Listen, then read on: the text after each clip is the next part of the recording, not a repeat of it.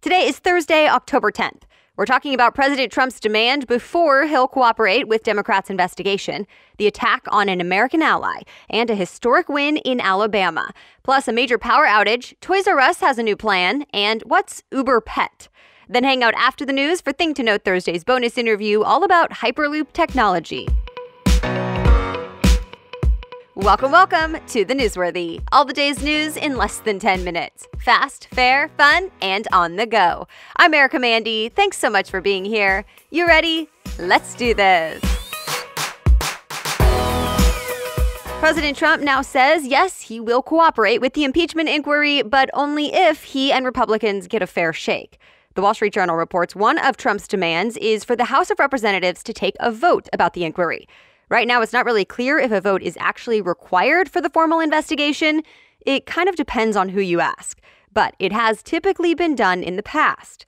Even some Democrats are split about whether a vote to launch the inquiry should have happened, though critics question if Trump will ever think the process is fair enough.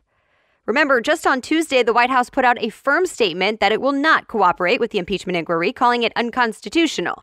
And already the Trump administration stopped a key witness from testifying.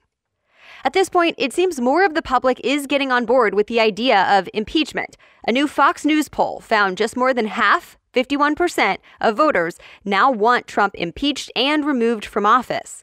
Fox News says that's the highest it's been so far. Also, for the first time, former vice president and current presidential candidate Joe Biden is saying President Trump must be impeached. Though the New York Times reports he stopped short of saying Trump should be removed from office. Of course, Biden and his son are at the center of this whole thing. They're the ones President Trump wants other foreign governments to investigate for possible corruption. So, what's next? House Democrats are expected to issue new subpoenas for witness testimony and written records as soon as today, and a key witness is expected to testify tomorrow. More to come. It's happening. A major U.S. ally is now under attack in Syria. This comes just days after President Trump pulled back U.S. troops in the area, basically clearing the way for this attack to happen. The AP reports Turkey has sent warplanes and troops across the border to attack Kurdish fighters in the northern part of Syria. And there are reports of panic among civilians in the area. Remember, this is the thing that had many lawmakers, including many Republicans, speaking out against Trump's decision. Why? The Kurds have been fighting ISIS alongside U.S. soldiers in Syria for years now. And by pulling back troops, some lawmakers say the U.S. is abandoning an ally, hurting American credibility, and in some ways, actually helping groups like ISIS. A member of U.S. Special Forces told Fox News, quote, I'm ashamed for the first time in my career. But President Trump continues to defend himself on this. The Washington Post reports he suggested the Kurds are not as good of a friend as many people think. And he also made it clear he does not support the Turkish attack. He called it a quote, bad idea. But he says he pulled troops from the region so the U.S. is not involved in endless wars in the Middle East. Some sad news to tell you about out of Germany. ABC News reports two people were shot and killed outside of a synagogue during Yom Kippur, which is the holiest day in Judaism. The gunman reportedly live streamed parts of the attack on Amazon's popular video gaming site, Twitch. The company says it's shocked and saddened and is working to take down all of the videos and suspend any accounts that post it. Reuters reports the video showed a young man sitting in a parked car and talking about his negative feelings towards Jews. He reportedly tried to shoot the doors of the synagogue open, but it didn't work, so that's when he fired shots outside. The gunman has now been arrested.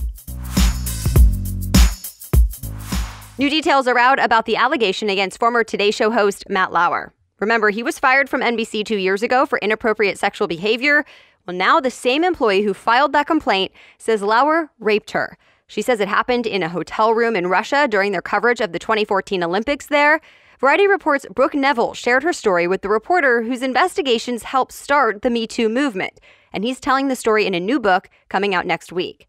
But Lauer fired back in a letter, saying he'll no longer stay silent. He says the affair happened but was completely consensual and the start of an ongoing affair. He says she is now just looking to get paid. Nevils calls Lauer's defense classic victim shaming. All right, well, for the first time in history, Montgomery, Alabama has a black mayor. The Wall Street Journal reports probate judge Steven Reed is the first African American mayor in the city's 200 year history. And that's a big deal. Montgomery is known for having a challenging racial history. It's where Rosa Parks held the bus boycotts and where Dr. Martin Luther King led the Selma to Montgomery marches. It's also home to the Voting Rights Act. Reed says the election is not about him, though. It's about the hopes and dreams of the city. An estimated 2 million people in California will be impacted by unprecedented power outages now underway, and some of these outages could last into next week. We mentioned this was happening yesterday, but now the San Francisco Chronicle reports the cost estimate of these outages to residents, schools, and businesses is more than a billion dollars. Santa Clara County in the Bay Area also declared a state of emergency to have enough resources on hand. Many people who live in these areas and the politicians representing them are not happy about this, and they say these mass blackouts cannot become the norm.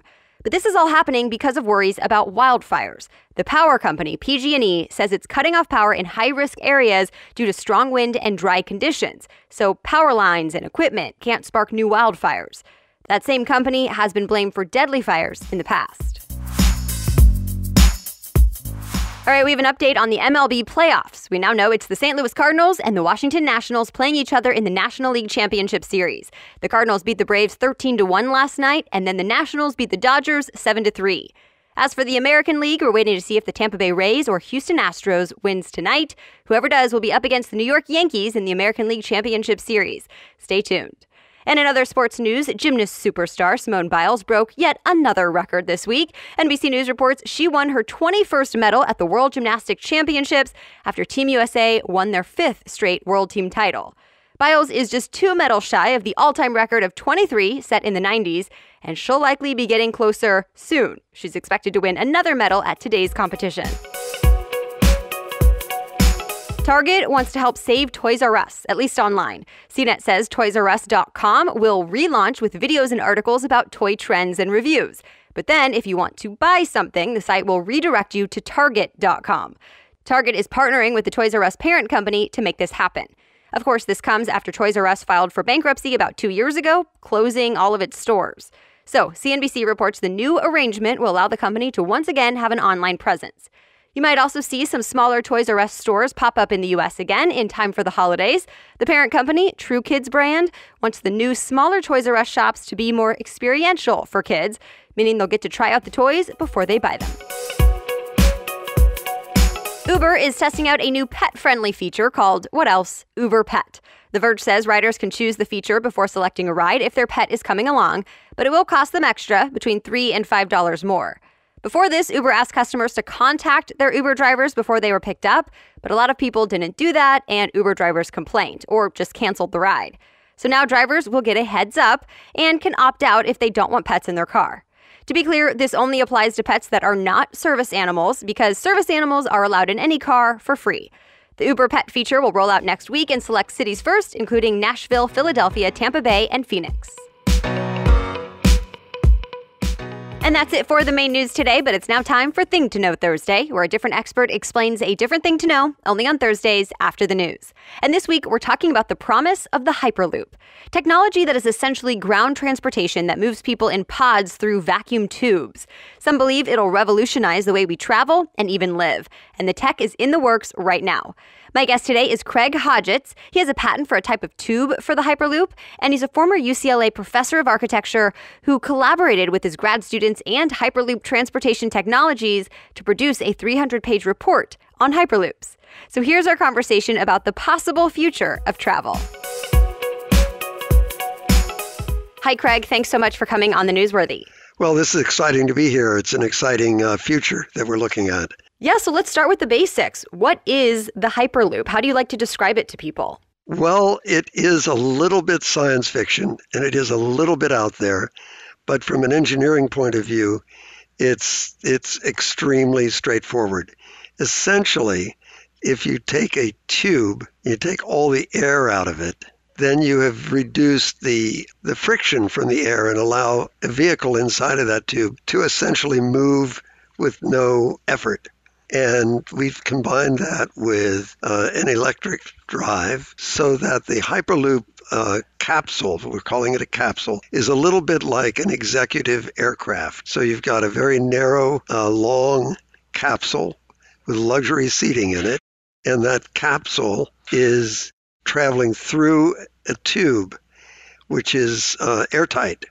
And the speed at which it can travel then is, is, you know, is as fast as a supersonic jet plane. So we're talking about six or 700 miles per hour and getting from LA to San Francisco, for example, in what, 30 minutes? Roughly, uh, yeah, maybe 35 minutes. Um, and the idea there is that this will be a transformative kind of technology because unlike an aircraft where you need to load up the entire airplane maintain people in a lobby prior to getting on the plane and so forth and so on, which consumes a great amount of time even before you're up in the air. The uh, Hyperloop idea is that these capsules only seat 20 people, and as such, they will depart with a great efficiency and, and quickly, perhaps five minutes between. So it's like ca- catching a bus on the fly, and off you go. So it's a it's a just in time kind of transportation uh, technology. So, time is clearly a possible benefit from this technology. What other potential benefits, such as zero emissions, which is a, a, big difference than flying an airplane? Yeah, this is a really good question because the sustainability aspect has not been underscored. But the reality is, because of the evacuated tube and the electric propulsion system, the capsule basically coasts. If you imagine the way a sled coasts down an icy slope, once we've removed the air and propelled the thing with these electric pulses, it essentially coasts for many miles before you have to give it another pulse.